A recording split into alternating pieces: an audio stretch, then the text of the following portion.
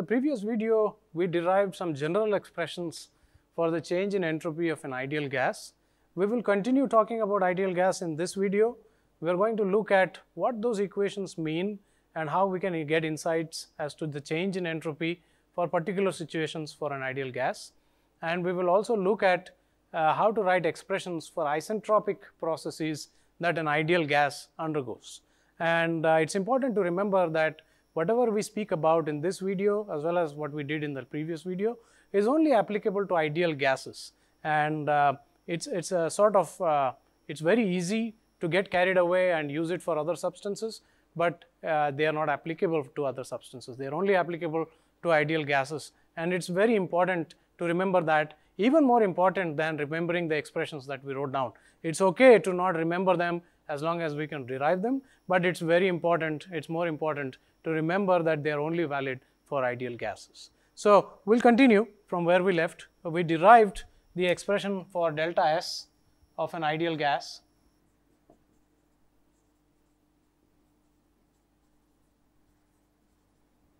uh, we said this is equal to Cv uh, times log T2 over T1 uh, plus R log uh, P2 over P1 and uh, this is uh, for Cv being more or less constant right only um, sorry this should be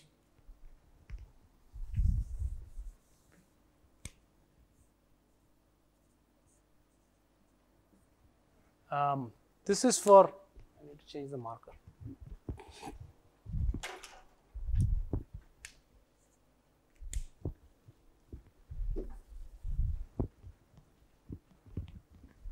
So, we wrote uh, delta S equals Cv times log of T2 by T1 plus R log V2 by V1 uh, for an ideal gas where the specific heat at constant volume is more or less constant, doesn't really vary with temperature, at least in the range that we are considering.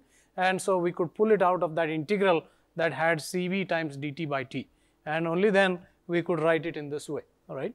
And remember that R is the specific gas constant, not the universal gas constant, but the specific gas constant. So um, we also wrote that uh, this is equal to Cp times log T2 over T1 minus r log p2 over p1. And uh, let us look at these expressions a little more closely and see whether we can derive insights into the change in entropy. So, let us assume that for example, we are talking about two systems uh, of the same ideal gas uh, that are at the same temperature, but occupy different specific volumes. Obviously, their pressures are different, right. So, if they are at the same specific temperature, then this term is 1 and so therefore, this term goes out. And the change in entropy then is R times log of V2 over V1.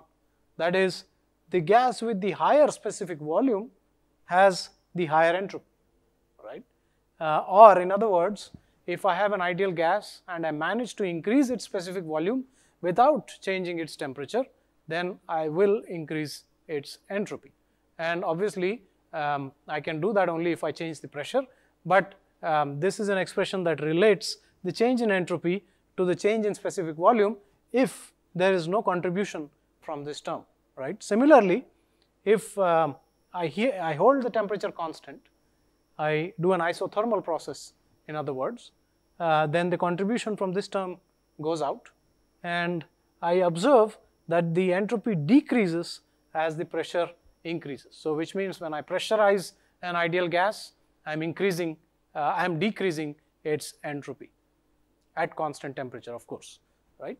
So, if there is a change in temperature then I need to evaluate the entire term and uh, so this is an insight that we get from uh, the equations that we wrote down. Uh, let us do one step further and say uh, what happens in isentropic processes.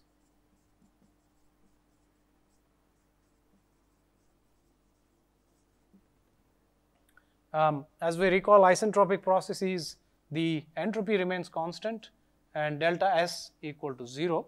Essentially, these are reversible adiabatic processes and um, so I can write uh, CV log T2 over T1 plus R log V2 over V1 as 0. Um, in other words, I can write log of T2 over T1 is equal to minus R by CV log V2 over V1. This is a log term in the sense that I can then take the multiplicand uh, to the power. So, I can write this as uh, log T2 over T1 equals log of V2 over V1 to the power minus R by CV, right. So, which means I can write this as log V1 over V2 to the R by CV, right. and uh, if I have log on both sides, so I can write this as T2 over T1 equals V1 over V2. Um, I can write this as R over CV, uh, R over CV. So, in other words, I can write T1 V1 R over CV equals T2 V2 R over CV, right. Uh, I can write this in a more compact way to say that T times V but to the R to the CV is a constant.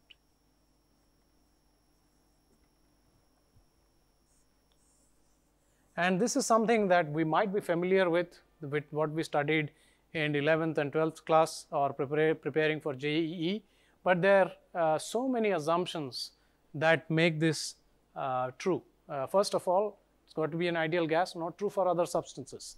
Second, we must be able to write this expression, which means that CV is more or less constant or has a weak dependence on temperature within the temperature range that we are considering.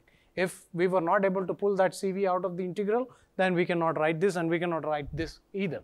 So, um, it's important to remember that what we are writing here is very specific and it's not generally applicable. So, it's up to us to justify its use if we do want to use it and in general we cannot use it, right. So, um, and then we can write TV uh, by R to the CV is equal to constant. We know that uh, Cp minus Cv is uh, R. So, I can divide it uh, as uh, Cp over Cv minus 1 equals R over Cv. We know that this is, um, you want to use K or gamma? Gamma. K? Gamma. So, this is the ratio of specific heats which we call gamma uh, minus 1 equals R over CV. So, I can rewrite this as T times V to the gamma minus 1 is constant. So, when we have an ideal gas whose specific heat at constant volume is very nearly constant and uh, for an isentropic process.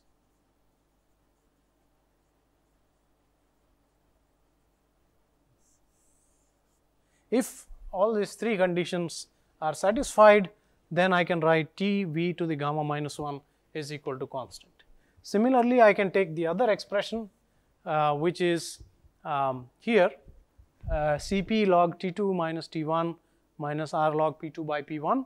We can take that here and write uh, for delta S equal to 0, uh, we can write uh, Cp log T2 over T1 equals um, R log P2 over P1 and uh, log T2 over T1 equals to log P2 over P1 power R to the Cp and uh, so we can write T2 over T1 equals P2 uh, by P1 to the R over Cp.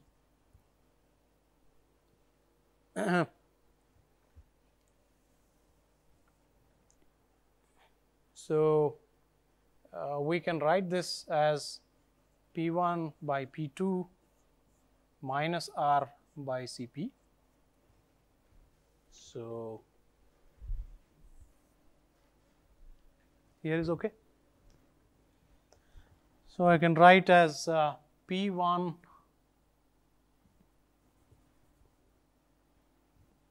T1 P1 minus R over Cp equals T2 P2 minus R over Cp and uh, so this is in other words T times P minus R to the Cp is a constant. Um, again recalling that Cp minus Cv equals R um, 1 minus Cv over Cp equals R by Cp. This is 1 minus 1 by gamma uh, equals R by Cp. So, I can substitute this T p to the minus um, of 1 by gamma minus 1 uh, equals to constant. Um, then uh, we can write this as uh, T p to the gamma minus 1 by gamma is equal to constant. So, again this is for an ideal gas whose uh, Cp value does not change by much and that gas undergoes an isentropic process. So, again um, only if it is an ideal gas, only if Cp is remains constant and only for an isentropic process we can write T p to the gamma minus 1 by gamma equal to constant where gamma is the ratio of specific heat. So, let us continue and write down the results that we obtained. Uh, we said uh, T times V to the gamma minus 1 is constant. Uh, another way of writing this was uh, that T times P gamma minus 1 by gamma is a constant. And so, uh, this we said will work for an ideal gas undergoing an isentropic process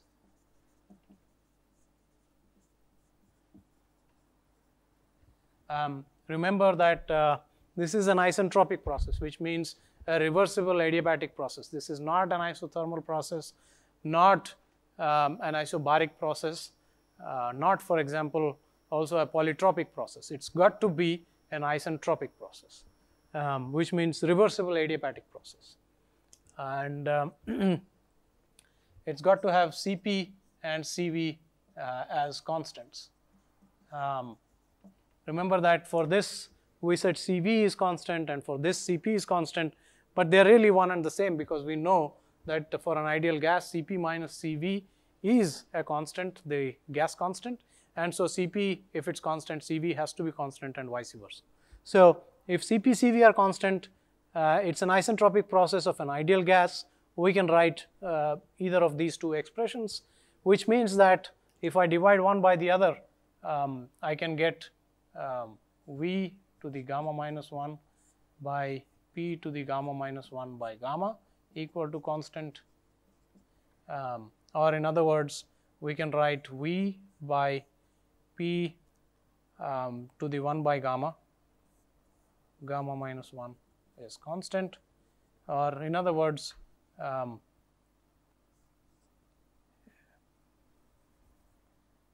V by p to the 1 by gamma is constant or p times V to the gamma is constant. So, um, this is an expression that involves T and V, expression that involves T and P, and this is an expression that just involves P and V without involving temperature. And so, we have got all possible combinations uh, among P, V and T which are the most commonly measured variables, especially when we are dealing with ideal gases. And so uh, we have a way to work with any two known variables if we have an ideal gas. Again, recall how easily we learned this when we were in 11th or 12th or when we were preparing for JEE, but uh, now we understand the assumptions that went behind these expressions and it's important, more important to remember the assumptions and the limitations rather than remembering these expressions which could always be derived if necessary. There has been a small sign uh, correction. So, this has got to be T p to the 1 minus gamma by gamma and not um, gamma minus 1 by gamma as we wrote earlier. And uh, so, uh, when we carry this over uh, here it becomes 1 minus gamma right and uh, so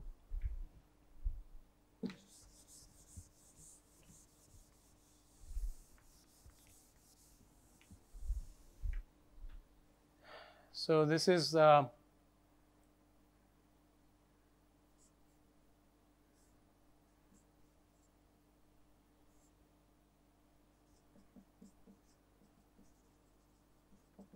and when we divide one by the other then we get uh, V to the gamma minus 1 by 1 by P to the gamma minus 1 by gamma is equal to constant. And from here I can get uh, V by 1 by P to the 1 by gamma. Something is wrong here. that's that's okay. Is equal to constant because I'm raising it to a constant power so that's also a constant. And so from this I can write PV to the gamma is constant. So in the next video we are going to talk about um, the isentropic processes and why we look at isentropic processes and how non-isentropic processes uh, result in lost work or rather how entropy generation destroys the work uh, that can be done and that's what we're going to do in the next video.